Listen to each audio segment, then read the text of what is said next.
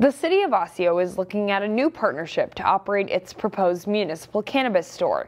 An investor called Red Pine Group spoke to the city council this week. It's offering to buy real estate and pay the upfront costs to operate a store for the city. In this agreement, Osseo would get 25% of the store's profits.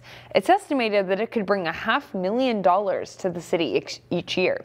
It's unclear if state law will allow for the arrangement, but the council was supportive. For me, it really breaks down to just the upfront capital expense.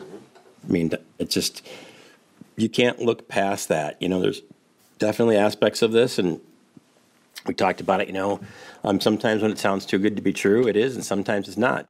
The city's attorney is going to look through Red Pine's proposal and bring back new language to the council at its next meeting.